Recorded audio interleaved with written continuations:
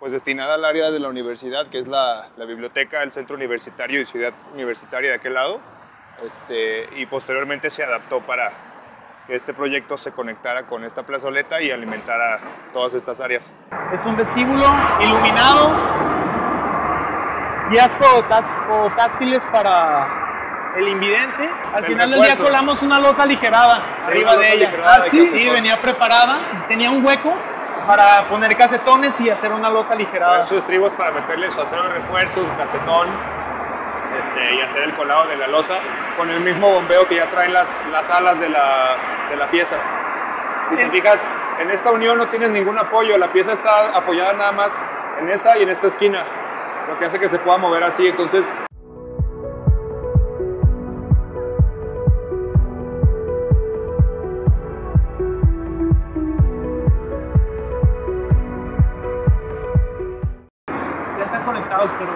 que ver si a cierta hora del día se encienden o a ver qué sucede con la instalación. No, los rieles tienen que estar bien garantizados para el uso súper rudo, ¿no? Sí. Sí, pues aquí está trabajando el, el contratista de las puertas y pues aquí desarrollando, ¿no? ¿Para cuándo tienen que entregar? Para este año. Sí, para este año tiene que quedar operando. Por lo menos este trayecto. Ya esa fecha no te la podemos dar nosotros, es cosa de la dependencia, pero nosotros en este, en este para- año ya tenemos que terminarla. ¿Y para más o menos cuándo está pensado ya que arranque todo el, La el operación. Me la verdad esa fecha solamente la sabe la dependencia, pero también este, a lo que se ha escuchado es a que este año arranquen los recorridos operativos, ¿no? Y tal vez un, no toda la vialidad, pero sí tra- un tramo ya bien constituido en onda de retornos este, operativos, pues ya que opere por sí sola, ¿no? Buenísimo. Y esta es la estación Centro Cultural Universitario. Ajá. Nosotros coloquialmente la conocemos como CUSEA, pero pues bueno, este, ya al final del día sí, muchos, así la terminaron muchos de los nombrando. nombres fueron preliminares. Ah, en las licitaciones tienen nombres, como este se llama Estación CUSE, ahora se llama Estación Centro Universitario. Este, muchos otros también cambiaron, me parece que Balcones se llama Chapalita Inn y la calzada se llama Independencia ahora. Ah, claro. Entonces, poco a poco. sí. Oigan, y se cierran en algún punto del día. Sí, este se- me parece que el servicio va a estar hasta las 11 12 de la noche. Entonces esto queda cerrado, obviamente por los equipos, de vandalismo, las etcétera. cuestiones operativas ya del transporte no tenemos mucho detalle, pero sí de la, de la cuestión constructiva de cada estación, pues sí te podemos decir, ¿no? Ok, ok, ok. Entonces llega hasta este punto, fíjense, se alcanza a entender toda la pendiente que trae esto, ¿verdad? Sí, es una pendiente máxima del- del 7 ya por ciento aquí, pero sí está un poquito tendida. Hay partes que tiene más del 7 incluso. Si te fijas, puedes notar que hay dos, dos o tres como quiebres que tiene la estación. Sí.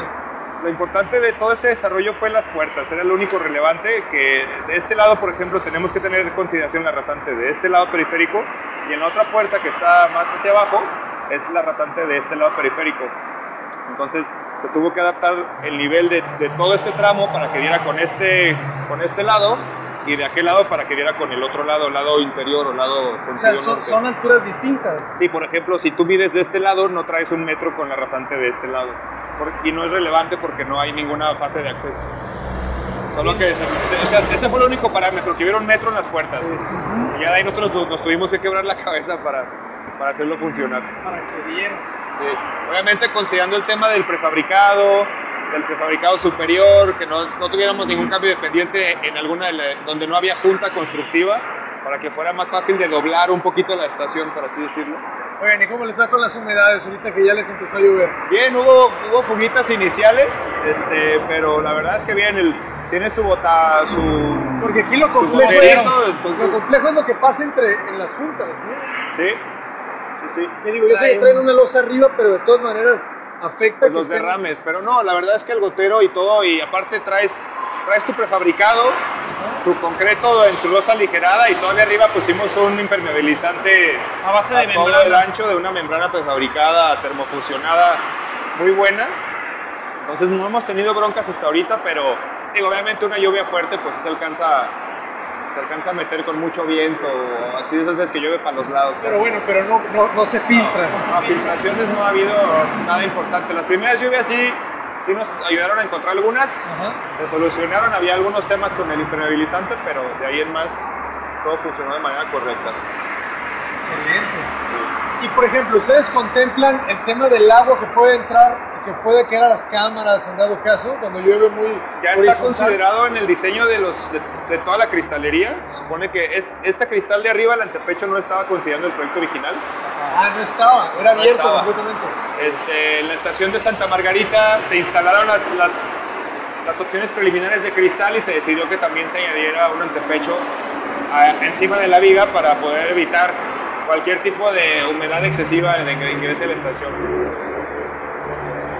Por cuestiones de ventilación se dejaron nada más los extremos de la estación sin, el- sin antepecho. Sería aquí de aquel lado. Este MUPI que le llaman va a tener una pantalla que va a estar dando la información en tiempo real al usuario. A cuánto está tu camión, qué, ruta estás, qué estación estás, etcétera. Avisos, información varia. Va a llevar una pantalla ahí. Excelente. ¿Para cuántas personas se está pensando esta estación? El flujo no lo sé, fíjate. No tengo ese dato. Está interesante. Porque Como hay, hay varios 500. tipos. Se me hacen muchas, ¿verdad? Sí, no, no, no podría decirte. Pues es un flujo por minuto o por hora, no sé cómo esté medido. Pero por lo mismo, están, la- o sea, los trayectos son largos. Tienes una distribución en la rampa que hace que el mismo usuario vaya segregando como que todo el flujo y no se acumule. O sea, tú empiezas desde la plazoleta hasta este punto, pues ya es una buena caminada en la que nadie tiene que interrumpirse con quién. Claro. Aparte hay estaciones de otros tamaños. Esta es de las, de las estaciones grandes, por así llamarle. Otras estaciones tienen un ancho de 3 metros con 60 en vez de 420, que es la estación más chica. Mismo largo, pero más delgada. Que esa estación se hizo donde no era necesario el flujo o donde no había espacio con la geometría existente o la sección existente de carriles. Es- el desarrollo de esta es de, es de 70 metros y otros 70 metros de, del área de Del área de vestíbulo, vestíbulo. junto con la rampa. Pues tienes un área de vestíbulo libre de 35, 30 y ya viste la rampa que más o menos tanteaste que eran 30, pues ahí ya se te cumplen tus... Una cuestión interesante también con la rampa, igual ahorita lo podemos ver. Hicimos junto con, la- con el proveedor de prefabricado, tratamos de, y junto con proyectos, alineamos toda la parte de la rampa para que diera junto con las juntas constructivas, ya que el proyecto original venía considerando nada más el diseño arquitectónico y estructural, pero lo modificamos para que diera con cada junta de cada losa eh, la parte en la que salen las columnas, porque la cimentación obviamente pues está abajo, tenemos una zapata, un dado, se colocó las columnas, después se colocaron los prefabricados, les, les hicimos una media luna Ajá. Este, y ya posteriormente se colocaron toda la parte de la rampa, la estructura de la rampa, pero ahorita le tomamos un... Estuvo, estuvo bueno eso porque facilitó muchísimo el proceso constructivo y nos ayudó a que no tuviéramos que fabricar este, piezas especiales. La pieza estándar es de un metro con 95 de largo. ¿De por- la zapata? de, de prefabricado. Ah, La pieza estándar es, si te fijas, de junta a junta, tienes 1.95 menos tu junta, el, el Zicaflex pues, que le ponen. Entonces, para no tener que hacer muchas piezas especiales de diferentes eh, anchos, se hicieron, movimos la junta de la columna justo al centro. y ¿Y cómo dice, ¿y cómo estaban antes las columnas? Antes de que se dieran cuenta. Estaban, no sé, hace cuenta que se le una columna aquí en medio de la, de la pieza o allá en medio de otra o desfasadas. Entonces te iba a quedar una les pieza pedí muy que- cortita. Nos hubiera quedado una pieza especial aquí y otra acá. Entonces les pedí que se movieran las columnas para adecuarlas a eso, a esas medidas, junto con, la, con el fabricante prefabricado y junto con la, la- las- la dependencia y la sección de proyectos pues, de la dependencia, para poder facilitar eso y lo aplicamos en otra estación que tiene el mismo sistema más o menos y las demás. Entonces, estas losas van de lado a lado. Sí, es una losa completa. Ustedes colaron los dados, como quien dice, ¿no? Sí, las- todo el muro sobre el cual asienta Ajá. y los dados de cada columna. Y la cimentación consta de una zapata corrida de un metro con 20. Luego tenemos un muro de contención que obviamente contiene el, empuje de suelo de periférico de 25 centímetros. Y ya posteriormente tenemos el muro que está arriba de rasante de 20 centímetros. Y los paños exteriores del muro es el ancho de la estación, 420. Obviamente tuvimos que, ese muro se hizo con concreto lanzado. Entonces fue un, es un- son procesos constructivos muy diferentes, pero tuvimos que tener un control de calidad muy alto. ¿Y por qué con concreto lanzado? La dependencia sí nos lo, nos lo pidió, que lo hiciéramos lanzado. Para conservar un acabado eh, pulido. Un acabado pulido constante en todas las estaciones. Sí. Ok, ok. Incluso había una lista de los proveedores o de los contratistas de Que no dependiera de la simbra o qué. Ajá. Sí, no, la- las, no, no confiaron en la simbra. Entonces dijeron lanzado para que quede pulido y para pulirlo en caliente, ¿no? Este, entonces el control de calidad sí fue muy importante en eso porque teníamos que garantizar que no íbamos a tener problemas con las piezas a la hora que llegaran. Que no, no fue el caso, la verdad sí estuvo Y muy el bien. trabajo de la cimentación fue un trabajo medido al milímetro para que no hubiera pues, No problemas. hubiera con- problemas ni de elevaciones, ni de, ni de diseño, ni de nada, ni, ni con las piezas. Y se apoyaron siempre con topógrafos que les Sí. da con láser exacto. Es decir, teníamos un topógrafo aquí todo el colado. O tenían un buen maestro que les decía. No, el topógrafo, la verdad, el topógrafo. Que Sí, los maestros son topógrafos muy buenos, buenos. buenos. No, es que sí necesitas el láser ahí, ¿verdad? O Sí. sea, No, estaba, estábamos el- con la estación. porque el dado te tiene que decir, Sí. o sea, tiene que quedar al milímetro para recibir la placa. Sí, sí, sí. No teníamos, no había rango de error y fue un tema desde el inicio, desde que arrancamos, fue el tema, pues la cimentación tiene que estar bien porque de no estar bien vamos a tener muchísimos problemas arriba. Sí, vas a arrastrar todo. Todas estas columnas fueron prefabricadas, o sea, no hay columnas triangulares en mercado, todo es con placa. Entonces estas columnas en taller ya venían con una altura a la cual teníamos que cuidar con cimentación. Todo lo que estás viendo de acero no son perfiles de línea, son perfiles forjados con placa y sus respectivos atizadores, pues. Y todos son estructurales. Sí, Todo, todo eso es todos funcionan de una manera. Y trae su y trae su desfase, vienen intercalados los ejes. Sí. Son 17 ejes y 17 ejes, a cada 390. Cada tres momentos. No, luce bien. Luce muy bien.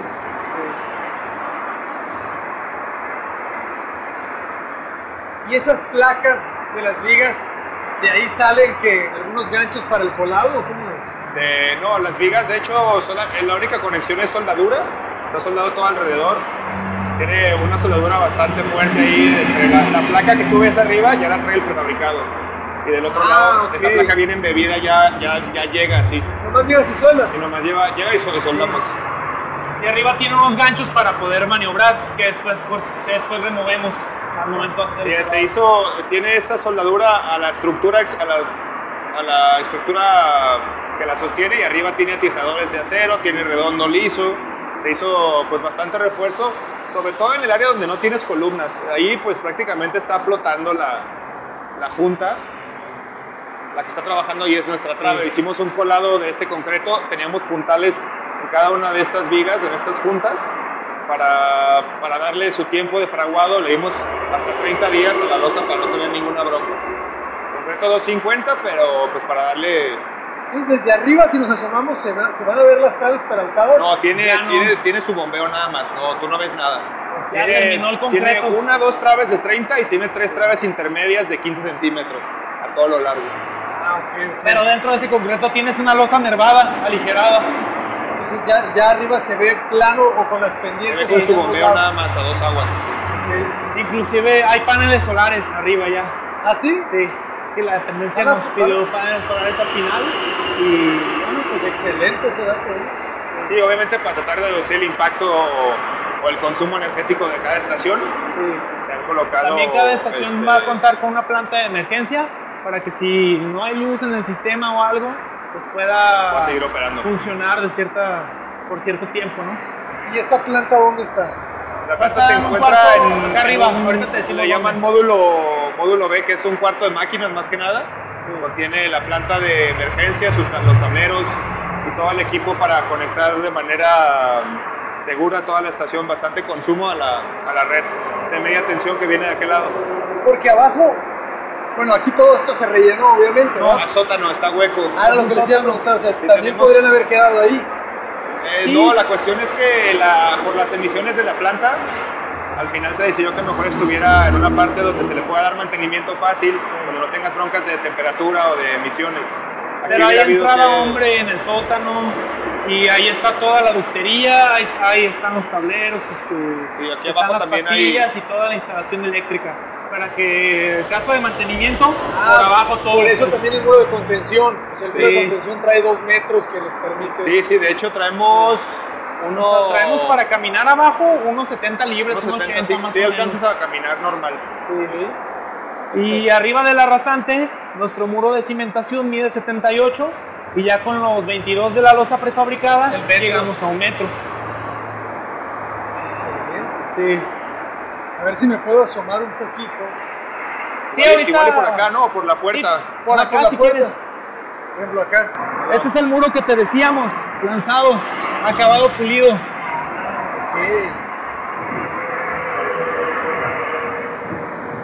Acá algunas juntas por temperatura, pero tenemos que trabajar hasta acabado. pues.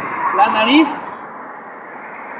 Y este es el cubre nariz para proteger la losa de Sí, concreto. cualquier toquecito que le Con eche cualquier feo. cosa que la unidad este, tope o algo, pues este absorba lo más que pueda. Y este mismo botallantas para regresarla, ¿no? O sea, que no, que no vaya. Que van al mismo paño y van a todo lo largo del prefabricado. A todo lo largo. Aquí puedes alcanzar a ver el, el, el doblez que se le hace a la estación allá. Te fijas, viene bajando. Ahí antesito del tambo. Ah, sí. Ese fue el perfil que se tuvo que desarrollar. Y si lo vemos desde arriba, se alcanza a ver, o desde abajo completo, se alcanza a ver muy bien cómo se desarrolla todo. Igual y del otro lado podemos pasar para verlo.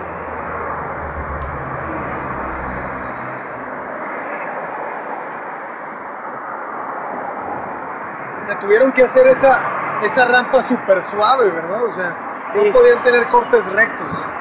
No. Acá el señor de las secciones. Pero sí, o sea, la longitud del desarrollo del vestíbulo no la dictó la pendiente del 6% para poder este, darle un espacio a esa rampa, ¿no? Y no, y no tener, o sea, eso fue, sí fue muy riguroso. La pendiente del 6% en la rampa peatonal para lograr una accesibilidad para todos. Este alzado siempre lo tuvieron claro. Eh, lo desa- sí, lo- o sea, lo desarrollamos nosotros porque lo único que nos entrega la dependencia es un plano de la estación de- del último eje, la última columna, hacia allá.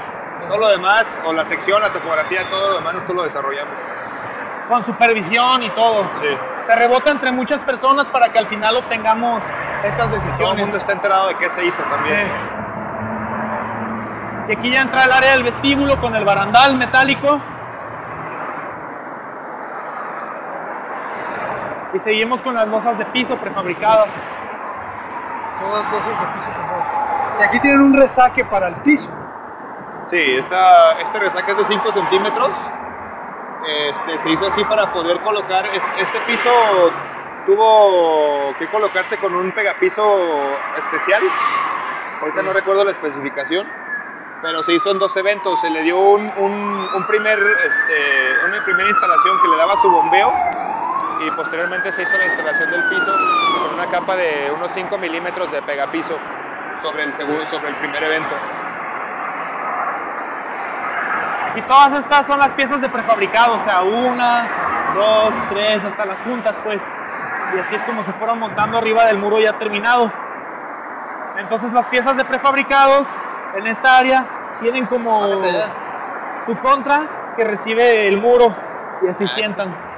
O sea, aquí, ¿Ah, sí? sí, así. Ok. Es un muro de 20 centímetros, imagínatelo. Y ya la pieza de de una muesca para, para entrar. Sí. Entonces, la- el muro es de 20 centímetros y esta muesca es de 21. No teníamos, teníamos 5 milímetros de cada lado de tolerancia, o sea, prácticamente nada.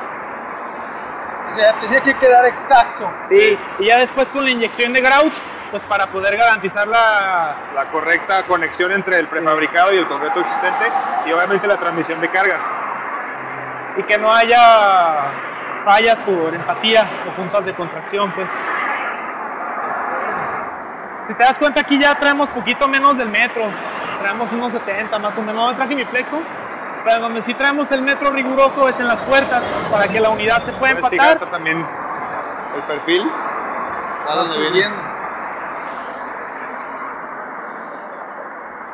Está toda doblada esta, está, está, está interesante. Y esos son los segregadores que, que pues van a recorrer toda la vialidad del peri- de- para darle un confinamiento al sistema. Y que por aquí únicamente Que no se nos vengan estos carritos. pero se sigue respetando los tres carriles que contaba la vialidad. Antes de tener una intervención de pavimentación completa y todo, o sea, en cierta Siempre forma, tuvo tres carriles. siempre periférico Sí. siempre tuvo tres carriles, después lo pavimentan y dicen, ah, qué bueno, ya, más freeway, un cuarto carril. Y yo, ¿cómo que le van a quitar un carril? Al final ya cuando estamos haciendo esto, pero en realidad la vialidad siempre tuvo tres carriles. Pues. Excelente, ¿no? Pues es más que suficiente. Empecemos a usar el transporte público, ¿no? Sí, pues esto le va... Sí, le va a dar prioridad al, al transporte y, va- y obviamente a la vez va a aliviar un poco el tráfico porque ya no va a haber unidades de, traf- de, tra- de- de transporte público transitando la misma vialidad. Entonces, de una, es unas por otras. te vas a conectar a la línea 3, te vas a conectar a la otra línea, el, el macrobús. O sea, Sí, pues sí, ahí sí. es un ganar-ganar. Y principalmente darle, darle un transporte digno a, a la ciudadanía y que, y que- que sea digno de, Ya no es lo mismo esperar en un, abajo de un puente que, que sabe qué, que quién sabe quién, a esperar ya en una estación con un techo, con acabados. ¿Cuánto tiempo lleva la obra, superintendente? La obra lleva aproximadamente empezó en siete diciembre. meses, ¿no? Empezó en diciembre. Empezó en diciembre, llevamos lo que lleva del año, pues fueron ocho meses. Siete meses y los inicios que fueron los trabajos de trazo y la- el trazo para la cimentación y los, el acomodo para los carriles le tocaron al hijo Manuel. Pues La distribución para la, si te fijas aquí tenemos los, el ingreso, el ingreso vehicular, Ajá. que se reincorpora ya la, Sí, hubo una incorporación que se cerró, aquella se cerró para, para facilitar la apertura del carril. Ah, ¿también trabajaron ustedes esa jardinería? Sí, esta parte le llaman almendra, que es una parte en la que se le da la transición entre el ancho de carril cero, por así llamarle, que es solo una barrera de concreto, al ancho 420 para que el camión pueda tener una transición suave entre, entre aquel ancho de carril donde está el letrero, te digas, pues es diferente a este para que tenga su, su Ah, distancia ya, de apertura. ya, ya. Y toda esta área pues se va a destinar como área verde. Y falta terminar esta, la colocación de estas plantitas con arbolitos, etc. Este, y de igual manera se hizo de aquel lado, solo que no fue necesario porque está la plazoleta pues tapando el área de la transición. Se tiró una banqueta, pero no se puso vegetación hasta en la sección en la que sale el otro lado.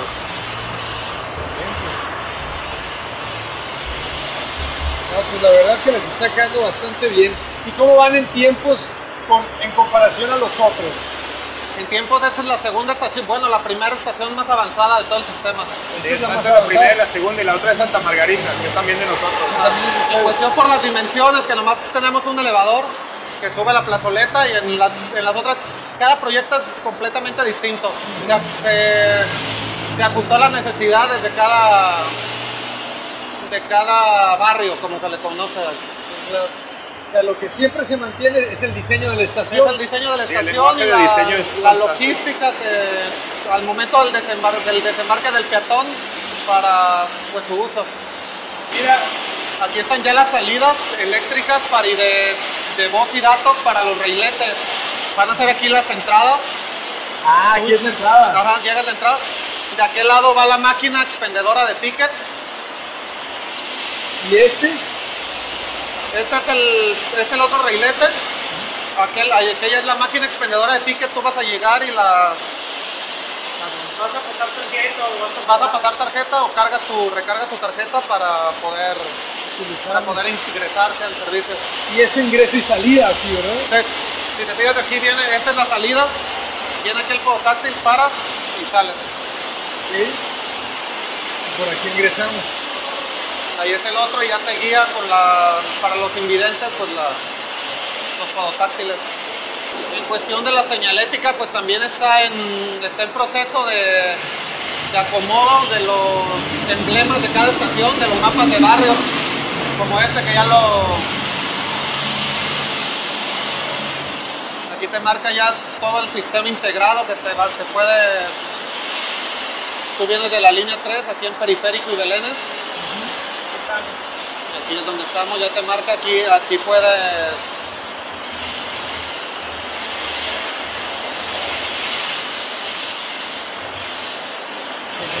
todo este es el anillo. Todo es el anillo periférico, el color morado, que es la, nosotros, nosotros estamos perteneciendo a este, a este nuevo sistema y ya nos podemos desembarcar en, la, en los ya existentes, en la línea 1, en la Mi Macro, en la calzada de Independencia, la línea 3, que es la, La nueva, la ¿verdad? nueva. Muy interesante, jóvenes. Muchísimas gracias por la invitación a conocer este proyecto, es yo creo que fundamental ahorita para todas las personas de Guadalajara. Lo hemos visto poco a poco construirse y, y pues es un gusto estar acá también No, pues, formando gracias parte un poquito de, ustedes. de Aquí el buen Tony fue el que Tony, muchísimas gracias. el conecte con ustedes. Muchísimas gracias a todos jóvenes. Hasta pronto. Chao.